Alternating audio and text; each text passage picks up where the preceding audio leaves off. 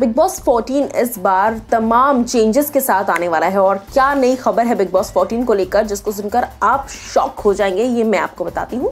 Well hello guys welcome to movies Adda मैं हूँ ज्योति नाहक। बिग बॉस सीज़न 14 का बेसब्री से इंतज़ार है ऑडियंस को, क्योंकि सीज़न 13 ने जिस तरह की तबाही मचाई थी, अब 14 से डबल एक्सपेक्टेशन है। लेकिन मैं आपको बता दूँ इस बार का जो फोर्टीन सीज़न होने वाला है बिग बॉस का, ये बहुत क्वर्की तो होने वाला है, लेकिन बहुत सारे चेंजेस भी होने वाले हैं। क्योंकि लॉकडाउन चल रहा है कोरोना वायरस का फ़ेज़ है। ये जो पैंडेमिक सिचुएशन चल रहा है ऐसे पैंडेमिक सिचुएशन में किस तरीके से शूट होगा ये सब ध्यान रखते हुए।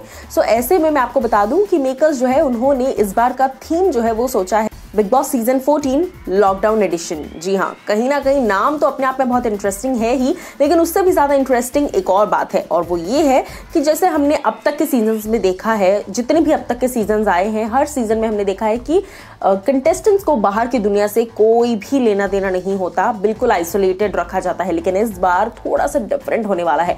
इस बार जो बिग बॉस के घर के अंदर कंटेस्टेंट्स आएँगे उनको बाहर की दुनिया से भी मिलवाया जाएगा समय समय पर। जी हाँ ऐसी रूमर्स आ रही हैं कि मेकर्स इस बार कुछ सरप्राइज़ एलिमेंट प्लान कर रहे हैं जनता के लिए और व्यूअर्स के लिए। इस बार जो कंटेस्टेंट्स आएँगे, उनको समय समय पर व्लॉग्स बनाने को कहा जाएगा। एक अलग से सेक्शन एक अलग से रूम बनाया जाएगा जहाँ पर यू नो गैजेट्स का इस्तेमाल करके टेक्नोलॉजी का इस्तेमाल करके वो व्लॉग्स बनाएँगे वीडियोस बनाएँगे, अपनी फैमिली को मैसेजेस भेज सकते हैं फैमिली को वीडियो मैसेजेस भेज सकते हैं और उसके साथ साथ फैंस के लिए आप व्लॉग्स कर सकते हैं। तो कहीं ना कहीं इस बार का कॉन्सेप्ट बहुत ही इंटरेस्टिंग लग रहा है मुझे। आप लोग को कैसा लग रहा है, ये आप मुझे बताइए, दिए गए कॉमेंट सेक्शन में। This is Jyoti Nahak signing off